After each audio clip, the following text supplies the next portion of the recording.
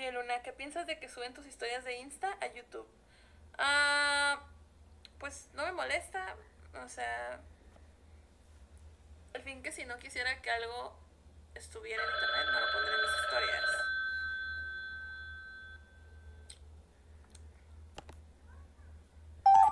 Las pinches dramáticas y psicópatas y estamos mal de la cabeza y la verga.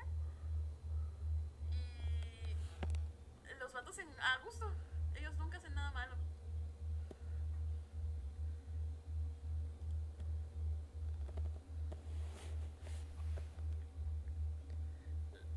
Lo del cojín.